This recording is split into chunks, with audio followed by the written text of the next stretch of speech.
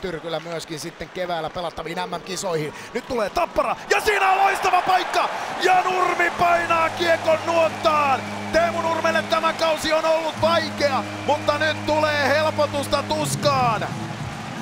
Viime kaudella 42 pistettä, ennen tätä osumaa vain 6 pistettä. 13 ottelua ilman maalia, mutta nyt lähtee myöskin pientä tuskaa harteilta pois.